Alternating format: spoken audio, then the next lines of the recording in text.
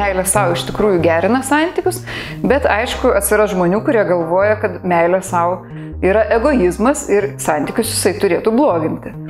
Tačiau, jeigu žmogus iš tikrųjų yra linkęs per daug pasiaukoti kitiems, e, per daug save investuoti į darbus ir taip toliau, tai egoizmas yra tiesiog būtinas dalykas tam, kad jis iš viso atsisakytų aukos rolės. Jisai netaps tikruoju baisiuoju egoistu, jis geriausiu atveju egoizmo skaliai pasieks vidurkį ir, ir tai jam bus labai naudinga. Jisai na, pasieks tą sveikąjį egoizmą.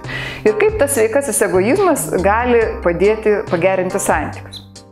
Visų pirma, e, jeigu žmogus išreikš e, savo norus, e, pasieks savo norus, išreikš gabumus, jisai bus laimingesnis. Ir tada kiti aplinkui nebesijaus tokie kalti, kad tas žmogus, na, nelaimingas. Nes vyras jaučiasi nelaimingas, jeigu jo žmona amžinai, amžinai liūdna, vaikai jaučiasi nelaimingi, jeigu tėvai jų nelaimingi. Vienu žodžiu, tai labai svarbu. Dabar antras dalykas, dar toks akivaizdesnis, kad jeigu žmogus myli save, tai jisai netiek daug tikisi iš kito žmogaus. Na tarkim, jeigu jūs esat labai rimtas, toksai pilietis, organizuotas, susirūpinęs, tai aišku, iš kito žmogaus jūs lauksite atsipalaidavimo, kažkokio žaismingumo ir jums būtinai reikės kaip į, kaip į veną susileisti tą gabaliuką tos kitos būsenos, kad jūs iš viso galėtumėt funkcionuoti. Bet jeigu jūs esate žmogus, kuris myli save, kuris patenkina savo pagrindinius poreikius, netaip smarkiai reiks iš to kito žmogaus kažką tai gauti. Jūs, na, tapsite laimingesnis, tapsite pats, pats tapsite geresnių partnerių duoti tam žmogui ir tiesiog daugiau galėsite jam duoti. O kraštutiniu atveju tai iš viso yra tokie žmonės, kurie visiškai prastai gyvena, bet jie laukia princo ant balto žirgo, princesės laukia. Ir kol nesulaukia, negali būti laimingi ir akivaizdžiai sulaukia, jie vis tiek negali būti laimingi, nes bando įsitverti kaip skęstantis už šiaudą. E, dar vienas dalykas, dėl ko meilė savo gerina santykius, e, tai e, dėl to, kad e, mylėdami save mes kartais e, žmogui nepadarome meškos paslaugos. E, iš per didelės meilės kitam žmogui mes galim jį paprasčiausiai išlepinti. O kai mes labiau mylim save, mes tiesiog jam mažiau duodame ir jisai gali geriau vystytis, geriau pats pasiekti daugiau. Dar vienas dalykas, kad e, mylėdami save mes rodome, na, tokį labai gerą pavyzdį aplinkiniam žmonėm.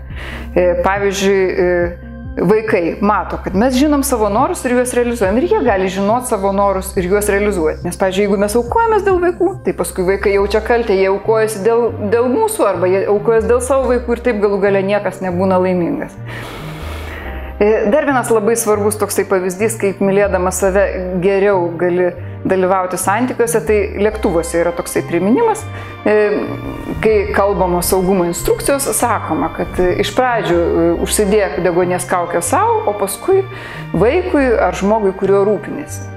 Nes akivaizdu, kad jeigu neužsidėsi degonės kaukę savo, tai nieko tu ir nebepasirūpinsi. Tai jeigu e, tą pervesim į meilę savo kalbą, jeigu tu pasirūpinsi savimi, tu galėsi daug daugiau duoti žmogui, kuris yra bėdoj, žmogui, kuris serga, e, vaikui Ir e, pavyzdžiui, žmonės, kurie rūpinasi mirtinai sergančiais ligoniais, jiems ir yra labai viena iš svarbių psichologinių patarimų, vienas iš svarbių patarimų, kad visų pirma susigalvokite, kaip jūs pasirūpinsite savimi, kokias valandas per dieną jūs skirsite atsistatymui, ką jūs darysite, nes būti šalia e, sunkaus ligonio yra iš tiesų labai labai sunku, reikia didelių resursų.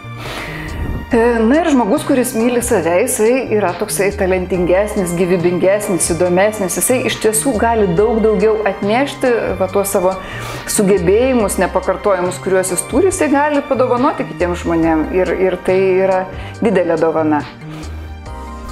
Na ir e, tas žmogus, kuris save myli, jisai jau duoda kitam žmogui ne dėl to, kad jisai tikėtųsi tuoj pat gauti atgal, o jisai duoda tiesiog iš pertekliaus. Jisai duoda, nes jam norisi duoti. Jam norisi tiesiog gyventi tokiam draugiškesniam, geresniam pasaulyje, e, o e, ne e, duoti mainais, kad čia aš tau, o tu man.